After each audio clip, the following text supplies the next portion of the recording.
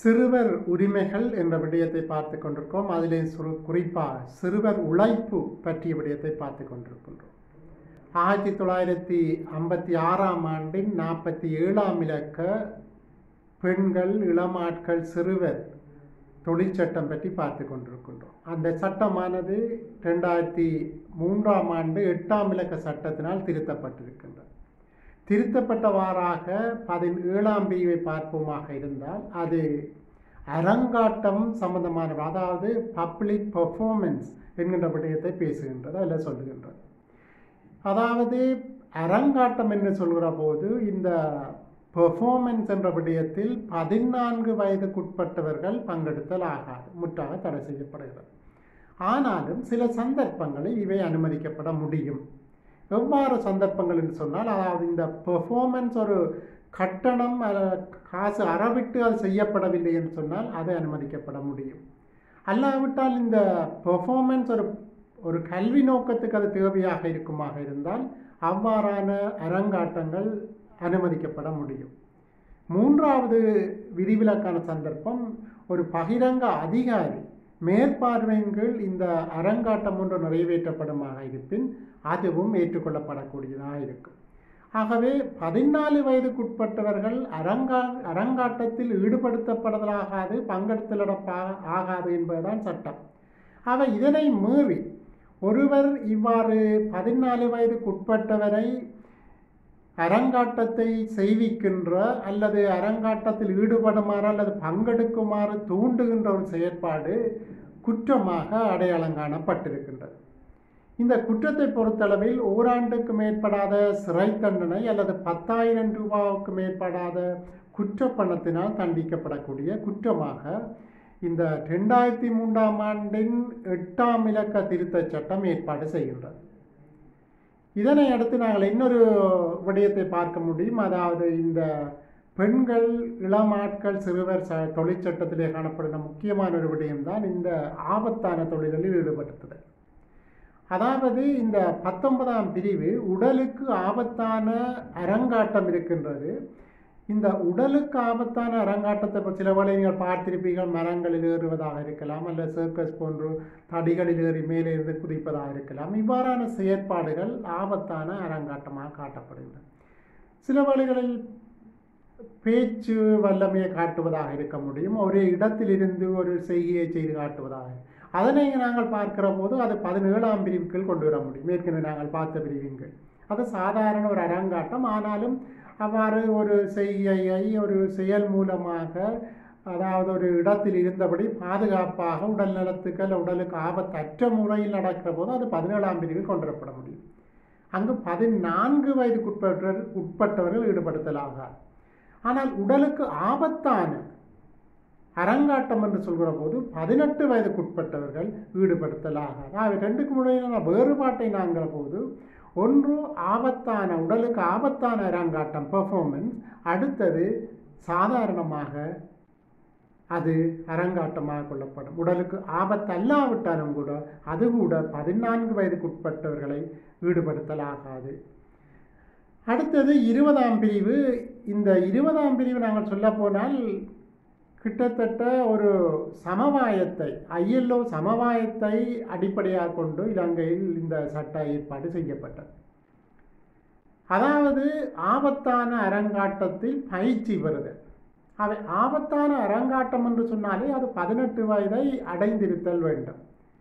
ஆனால் ஆபத்தான அரங்காட்டம் ஒன்றில் பெர்ஃபார்மன்ஸ் ஒன்றில் பங்கெடு பயிற்சி செய்வதற்கு பதினாறு வயதுக்கு உட்பட்டவர்கள் அனுமதிக்கப்பட மாட்டார் ஆகவே பதினாறு பேருக்கு மேற்பட்ட ஒருவர் ஆபத்தான இவ்வாறான அரங்காட்டத்தில் பங்கு கொள்ள முடியும்.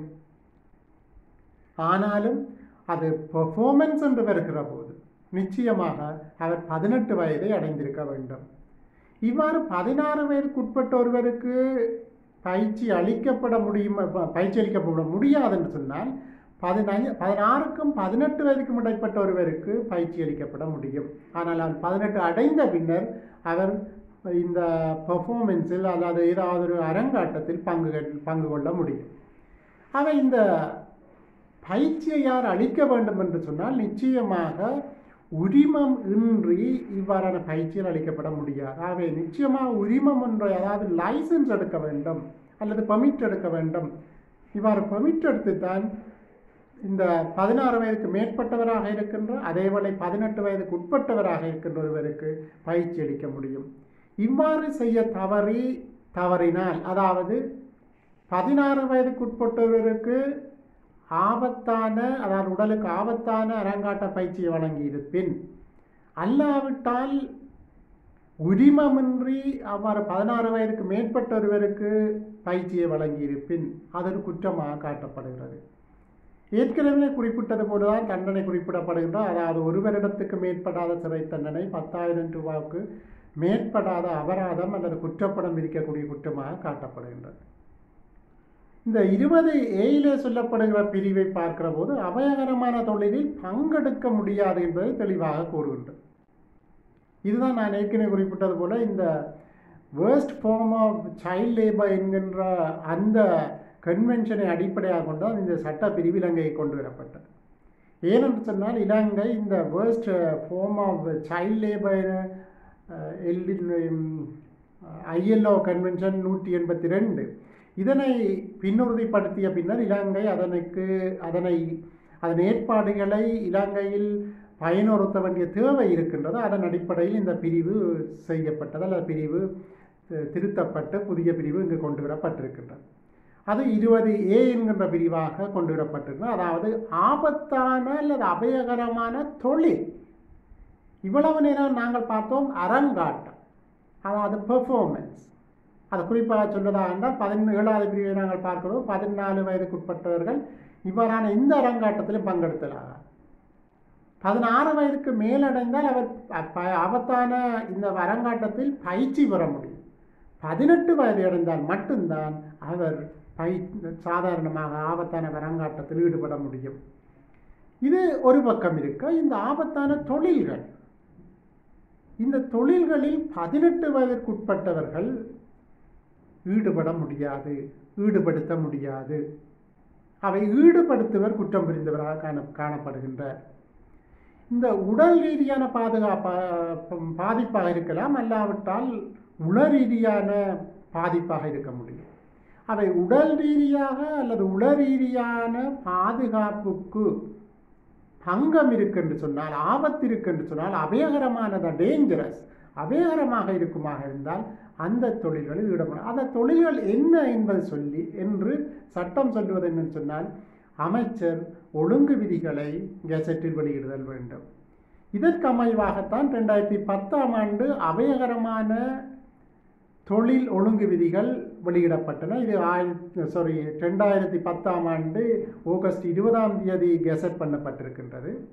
இதிலே கிட்டத்தட்ட ஐம்பத்தி மூன்று தொழில்கள் அபயகரமானவை டேஞ்சரஸானவை என்று குறிப்பிடப்பட்ட அது உளரீரியில் பதினெட்டு வயதுக்குட்பட்டவர்கள் டேஞ்சரஸாக இருக்க முடியும். அல்லாவிட்டால் உளரீரியாக அது ஆபத்தானதாக இருக்க முடியும். அந்த ஐம்பத்தி மூன்று தொழில்களையும் குறிப்பிடுவது நேரம் போதாது. ஆனபடியால் மிக முக்கியமான சில விடயங்களை குறிப்பிடலாம். இந்த விலங்கரு மனை அதாவது விலங்குகளை ஆடோ மாடோ கோழியோ இவற்றை கொள்கின்ற வித அந்த மனைகள் அந்த இல்லங்களில் செயற்படுத்த முடியாது. ஸ்லோட் ஹவுசஸ் என்று சொல்வார்கள். மற்றது கிருமி நாசினி சம்பந்தப்பட்ட விடயங்களில் ஈடுபடுத்த முடியாது. மதுசார உற்பத்தியில் ஈடுபடுத்த முடியாது. புகையிலை அறுவடை அதில் ஈடுபடுத்த முடியாது. அதாவது விவசாயம் புக புகையிலை விவசாயம் செய்யப்படுமா என்றால் அவரை அதில் ஈடுபடுத்த முடியாது. சுருட்டு உற்பத்தியில் பதினெட்டு வச்சு இப்போ சாதாரண இது ஒரு கிராமிய தொழிலாக காணப்படுகின்ற சுருட்டு செய்வது உற்பத்தி செய்வது.